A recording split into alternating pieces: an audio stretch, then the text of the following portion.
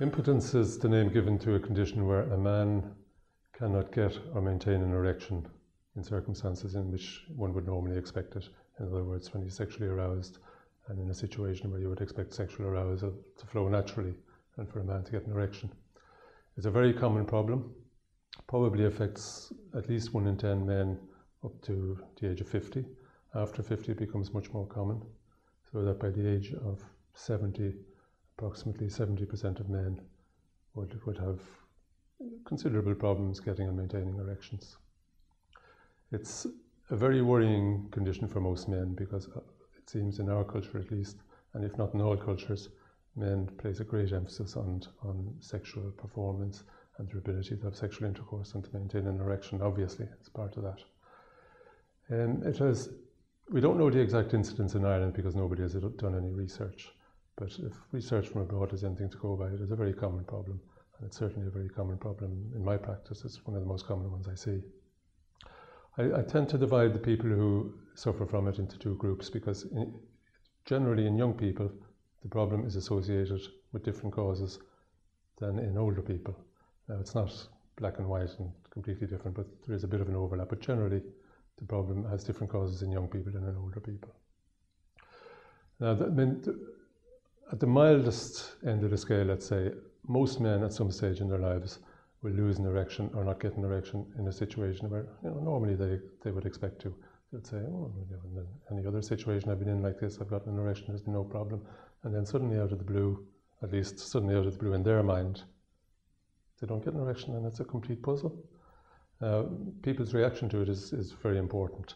And I think for young men, it is very important that if it does happen seemingly out of the blue in circumstances where normally it wouldn't happen, the most important thing is not to panic, not to make a big deal of it, because it should be expected at some times. Even though it mightn't seem obvious why it happens, everybody, every young person should, young man should expect it at some stage. And if it does happen, don't get excited about it, don't obsess about it, don't talk endlessly about it, don't make a big deal of it, in other words, because if you do, it tends to ex- exacerbate the problem. So the best thing to do is accept it as things that happen, sometimes happens, laugh it off and move on. Uh, it's a different story, obviously, if it becomes a chronic problem. And generally, it does if, if the man becomes very concerned about it and thinks about it too much and obsesses about it, let's say. And most, most of the young men I'd see who suffer from impotence or erectile dysfunction, as we call it nowadays sometimes, uh, it's, it's, the cause is primarily psychological and not physical. Whereas as we get into the older age groups, it tends to become a more physical medical problem that causes it rather than psychological. So there's always an overlap between the two.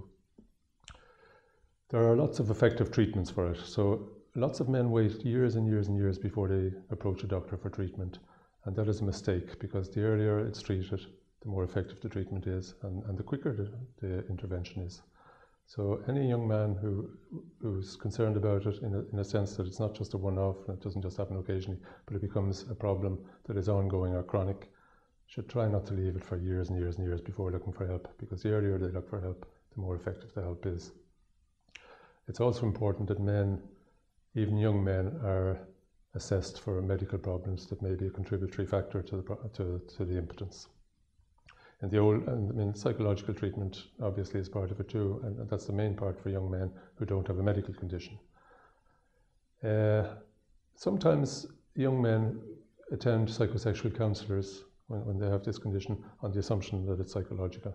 And psychosexual counsellors in the main are psychologists, so they wouldn't be trained to deal with medical aspects.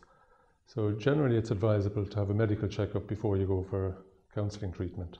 But I think in some cases it's reasonable, especially in young men, that maybe they see a psychosexual counsellor first and explore the psychological aspects. And then if, if that's not making much progress, then have a medical assessment. But a good guide for young men that the problem is not a medical, physical problem is if they still get morning erections, good morning erections, like they have done for since puberty. Uh, once we get over the age of 50, we begin to see the medical problems, physical problems come to the fore more. And the vast majority of men who suffer from impotence over 50, the problem is has a medical nature. And in most cases can be treated. Again, this, this is a condition that is eminently treatable. So no man need feel, you know, that once he suffers from it, even if it's a chronic condition, even if it's, even if it's caused by medical factors, that there is no treatment or no cure, because in most cases there is treatment that is very effective.